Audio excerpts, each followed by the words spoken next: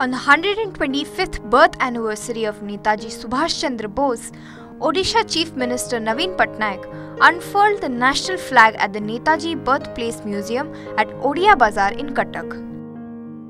He later laid the foundation stone for the state-of-the-art interstate bus terminal at Khannagar area of Cuttack, which has been named after Netaji. The bus terminal aims to facilitate hassle-free movement of passengers. The cost of the entire project is estimated to be over rupees 65 crore.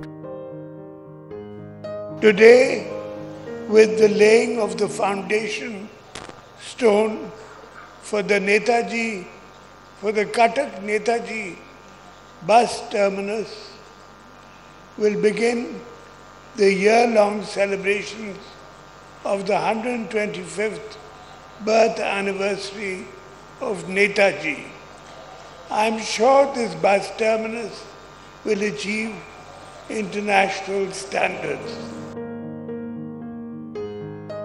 The bus terminal will be constructed on 12 acre land and have modern facilities for passengers. As many as 180 buses can be parked at the terminal at any point of time. The three story terminal building will have waiting rooms for passengers, food court, cloak rooms, e-vehicle charging points among other facilities. An area of around 2 acres adjoining the proposed Netaji bus terminal will be reserved for development of commercial complex on public-private partnership or PPP mode. Bureau Report OTV News